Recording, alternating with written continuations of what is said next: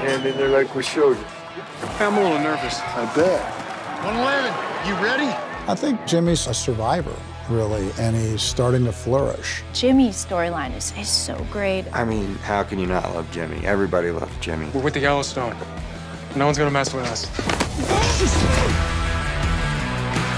My knowledge of Jimmy also starts in the trailer when Rip comes to get him. You Jimmy.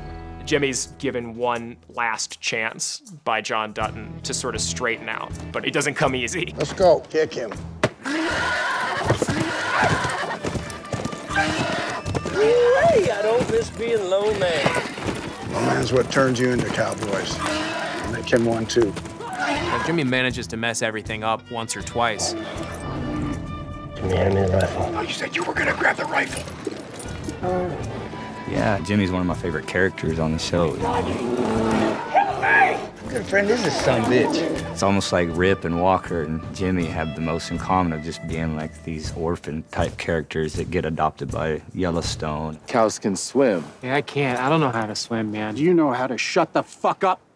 Well, as you know, I mean, Rip is one of those tough love guys when it comes to Jimmy. But they can't eat when it freezes? Jimmy, quit asking fucking questions. Go put it back. Get on the horse, Jimmy. Jimmy, quit looking at fish. This is Saturday. I know what fucking day it is, Jimmy. I know what fucking day it is, Jimmy. I'm constantly cursing at poor. Wonder which one's his mama. Gee, I fucking wonder, Jimmy. This cowboy as he gets right there, Jimmy. but Jimmy comes to Rip, and you know, basically, I say to oh, him, "Look, These guys, they just work here, Jimmy. You'll see a thousand of them come and go, but not us. This is your family. We're your family. But I think if anyone believed in him enough to teach him and to spend that time and energy with him, he's a pretty quick learner.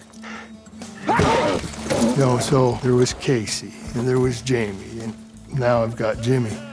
And I think I'm part of everybody's growing up process on the ranch. Keep riding. You're a winner. Rip, you see that? Eight seconds! yeah, Jimmy, I saw."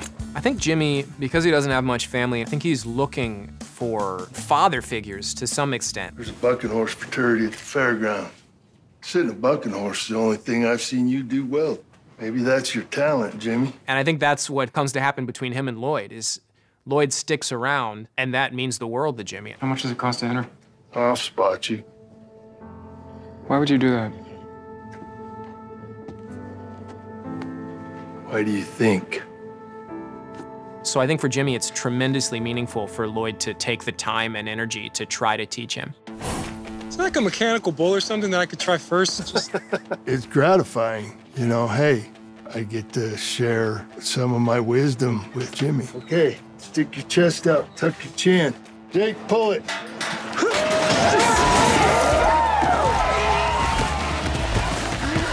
Jimmy's journey thus far has been about how much can he take and stick with it. Every other opportunity he's had in his life, he's sort of squandered and quit and run away from.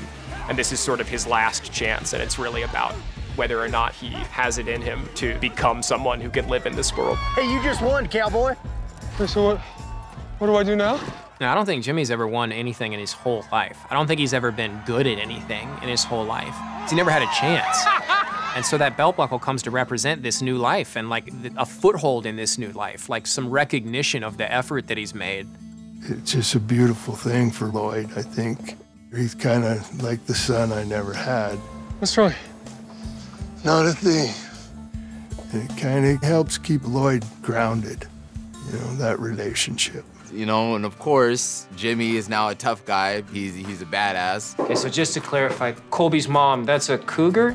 And they're just, we're sort of playing off of each other all the time. You know, he brings so much joy to the show, and you feel for Jimmy because you know what that would probably feel like, not knowing any of this stuff and then just having to learn it, you know, the hard way.